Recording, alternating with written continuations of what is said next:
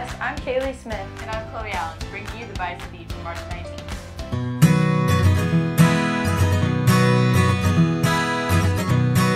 Today's lunch is chicken sandwich, chips, broccoli with ranch, and fruit.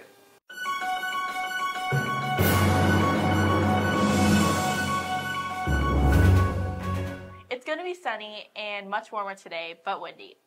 Expect temperatures in the mid 60s and wind gusts up to 35 miles per hour.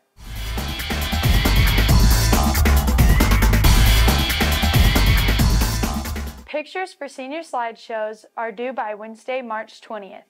Please email the pictures to Dakota Johnson. The due date for senior trip permission forms and money has been moved to Thursday. NHS members should bring Easter cards for senior citizens to Ms. Schneider at the end of the day on Thursday. Please bring at least five envelopes if you have them. The counselors will be hosting a scholarships, chips, and dips event all day Wednesday in the library. Students can sign up with their counselor by using your by using the link that they emailed you. All seniors will be going to the cafeteria at 11 Thursday to enjoy a pizza lunch provided by the Air Force.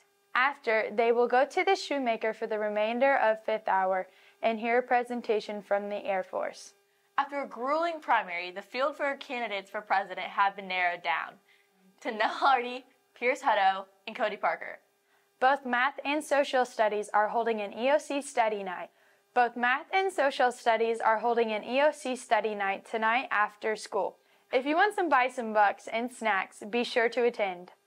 The Scholar Bowl team will be competing in the Sherwood Scholar Bowl tournament this afternoon. Lady Bison softball will be traveling back to Mount Vernon tournament today, playing Diamond at 3:30 and Purdy at 5:15. Bison baseball will be playing Skyline tonight in the Stockton tournament. The game starts at 4. BHS Life Skills students will be competing in the track and field events at the Special Olympics at Conway on Wednesday. Good luck to all of our bison. The more I think about it, the more I realize there is nothing more artistic than to love others. Vincent Van Gogh. Have a tubular Tuesday, BHS.